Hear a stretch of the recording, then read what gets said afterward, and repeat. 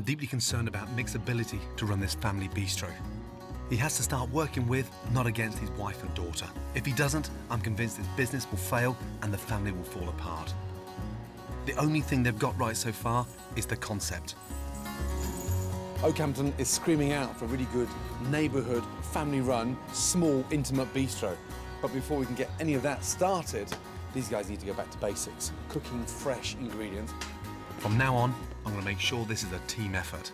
I need to change the menu from fake to fresh, and I've brought the entire family to a dairy farm just 20 minutes from their doorstep to teach them the importance of quality ingredients. I'm going to show them what they should be feeding their customers. You visit cash and carry minimum three times a week? Four. Minimum four times Yeah. a week. So you, you, you clock the miles up. Yeah. So what I wanted to do was not just bring you, but bring everybody here and bring you a little closer to the place of origin, where food starts. Yeah? Put you in touch. Duncan, how are you? Oh, yeah, very good. Good to see you, well. That's good. You've bought lots of milk, haven't you? Lots of plastic cartons, but you've never fucking milked one, have you? Good. Excellent. Roll up your sleeves. Right, where are they? Come on, Mick! Ah. I ain't getting near that arse, I'm telling Oh, you that. come now. on, Mick.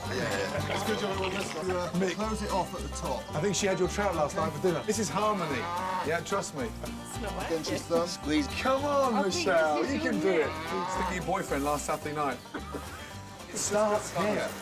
All starts here. Quality ingredients. It's the same whether you're you're braising a lamb shank or whether you're making the most amazing fucking ice cream. The ethics, yeah, and the mentality is all about the quality. Okay. Just like the Dovecot, this dairy farm is a family-run business. Mick could learn a lot from it.